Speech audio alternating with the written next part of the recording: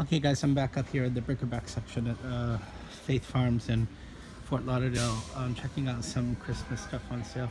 Um, I did come across a couple of boxes of um, F.W. Woolworth um, ornaments and what's interesting is that F.W. Woolworth is uh, the Frank Winfield uh, Woolworth, which was the first retailer um, that like became worldwide popular in 1879. It started in Utica, New York. Um, and the company went out of business in 1997 and became the Vernada, Vernada company, which then became Footlocker, believe it or not. It used to be Woolworth. So these ornaments, there's two boxes of them.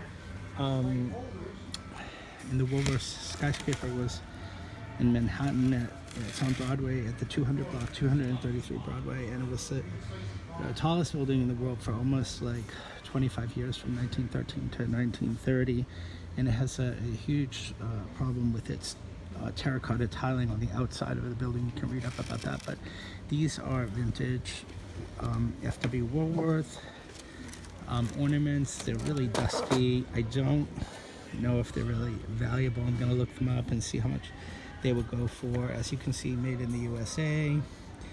And uh, Woolworths, F.W. Woolworths, Frank Winfield. Uh, again, started in 1879 in Utica, New York, became worldwide. They were uh, known as what was called a five and dime. But these are in the original boxes and they're only a dollar, which is a killer, just to have the boxes that say Woolworth. So they're really 50, they're 25 cents for the box. So I may just get them.